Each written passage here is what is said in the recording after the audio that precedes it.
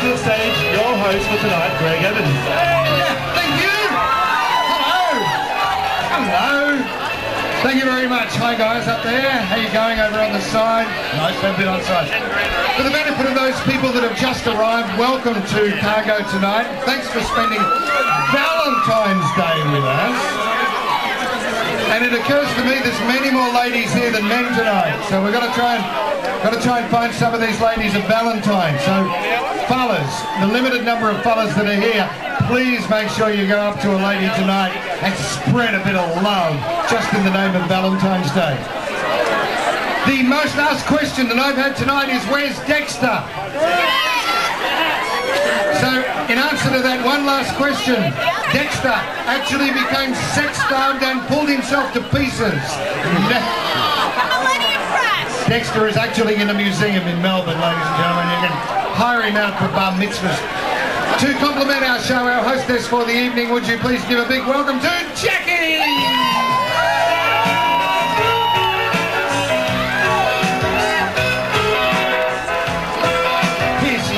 Hostess with the mostess. Jackie, thank you very much for helping us out tonight. Our first contestant is an office manager slash model.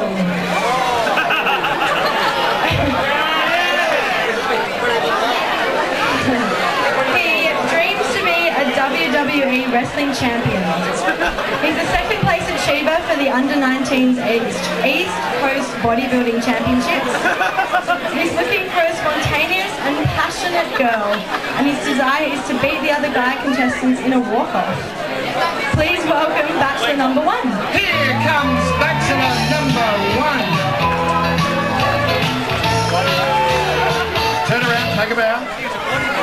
And have a seat, number one, and good luck tonight. Jackie, tell us about number two. For this show is Caitlin, and Caitlin is actually a lawyer. Caitlin, Cait- not yet, Caitlin. Caitlin likes, yeah, no, come and sit down. Caitlin likes, uh, well, she likes, um, what does she like? She likes baking cakes. Filled this in, didn't you? Caitlin likes baking cakes, she likes swearing, and she likes having sex. In the kitchen.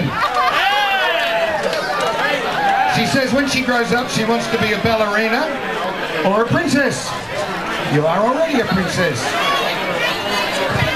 Her dream is to perform a recreational appendectomy on someone someday. Ladies and gentlemen, questions, please ask your first question to contestant number one. Um, contestant number one, if you could compare your lovemaking skills to any animal, what animal would you be? Yes, if you could compare your lovemaking skills to an animal, which animal would you be, number one? I like to be a wombat because it eats roots and leaves.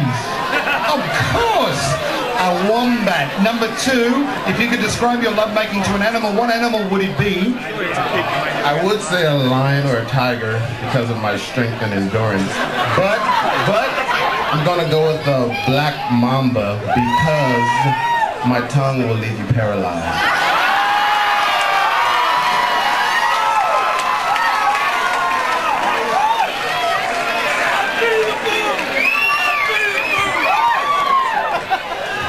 Stack of answers there to choose from.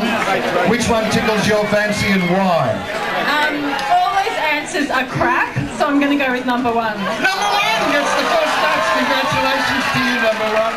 Please ask your second question to number one, Caitlin. Um, bachelor number one, please look at bachelor number two and tell me some of the things he obviously doesn't have that you have. Okay.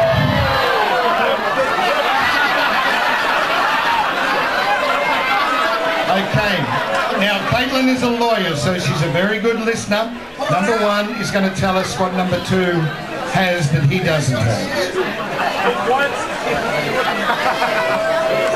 Okay, let's see. Since I'm Russian, I don't know if you can party all night long like I, I do. I don't know. Good answer. Yeah, okay. So he says number two can't party all night long like him. sitting here He's a stayer. Contestant number two, have a look at number one and tell everybody, or tell Caitlin, some of the things that he's got that you don't have. That he has that I don't have. Wasn't that your question? The opposite. Tell me some of the things you have that he doesn't have. Yeah, some of the things that you've got I number two that he doesn't have. I have and he doesn't have a mirror.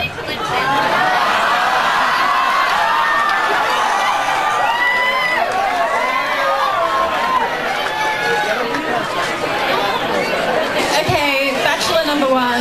Who's your favourite celebrity and could you please give me an impersonation?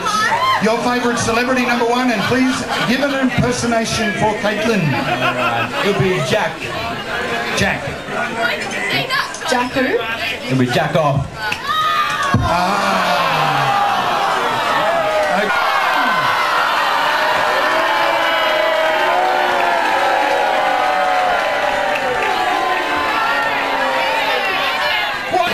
Matches with number one, yeah?